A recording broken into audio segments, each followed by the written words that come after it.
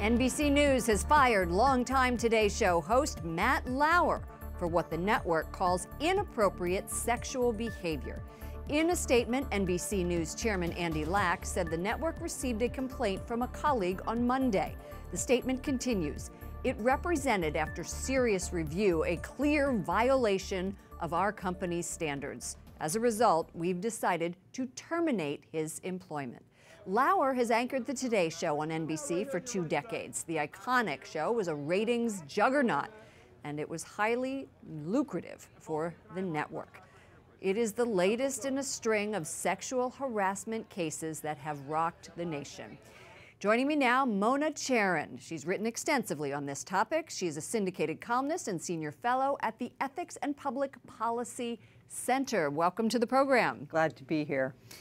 We have also learned that Minnesota Public Radio has fired Garrison Keillor today for what they are calling improper behavior. Right. What do these firings today and for the last month say about the culture we live in? Well, it's um, pretty degraded, I would say. I mean, how much, how low can we go? Any anyone's guess at this point. Um, you know, this really is the hangover from the last 50 years of the sexual revolution, um, where we decided that all of those old standards about how men and women should behave and about what it meant to be a gentleman or a lady were outdated, and and uh, we were beyond all that. And um, unfortunately, when now some of this has always existed, even before the sexual revolution, but I think the sexual revolution Had gave something it, to do with oh, it. Oh, definitely. It, why it then took now? All the barriers away. But why now is this happening? Why do men think they can get away with this, and why have women not defended themselves? Right. Well, it's a it's a very, as you know, it's a very awkward position for a woman to be in. Right. I, mean, I do know. First of all, right. so first of all, to come forward, what happens is you then are inviting the world to see you as a sex object, right? You say, oh, well, this person sexually harassed me, where you want to be taken seriously as a professional. And instead, everybody's saying, oh, she was sexually harassed. Uh, and there's a little elbow, right? true. No, right? it's very and true. it's very true. And so that's part of it. It's like the what the offender did to you by treating you as a sex object. You then would have Becomes, to have a, a second you, are then defined exactly. by, by that. You're defined Listen, by it. Let's take a look at this. The Teen Vogue columnist and feminist Emily Lindin took to Twitter and she said this Here's an unpopular opinion. I'm actually not at all concerned about innocent men losing their jobs over false sexual assault harassment allegations. Now, you have said also that you believe that everybody should use their judgment.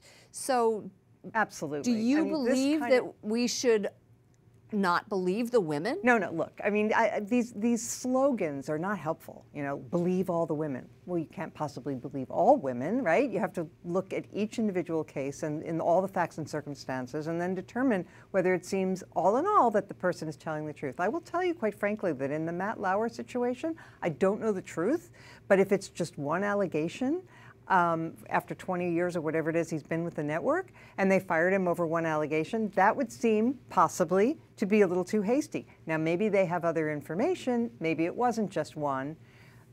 But I'm just who saying, who knows? But I'm point. just saying it is important not to railroad people and not to get into a mob justice mentality.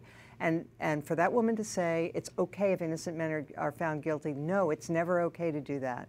Everybody deserves the benefit of the doubt. Everybody deserves the presumption of innocence.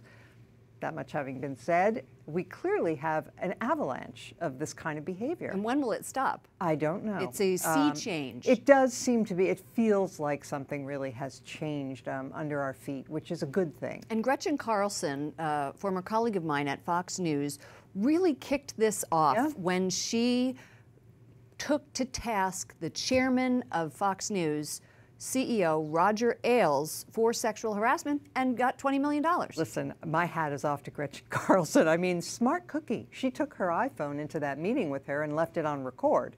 So, I mean, she had him dead to rights. There was absolutely nothing he could say. And so that's why I think she got that big settlement. And, and God bless her because it has given other women the courage to um, to also stand up for themselves. And I don't know, you know, there there are just moments in a culture when things change. I think Trump being in the White House has a lot to do with it. Oh, and I'm hearing rap in my Rap. ear. Are you kidding, Mona? they couldn't get him, right? And so they are trying to get everybody else. Interesting. It's, yeah, yeah. Mona Charen, Senior Fellow at the Ethics and Public Policy Center. Thanks for joining us. My pleasure.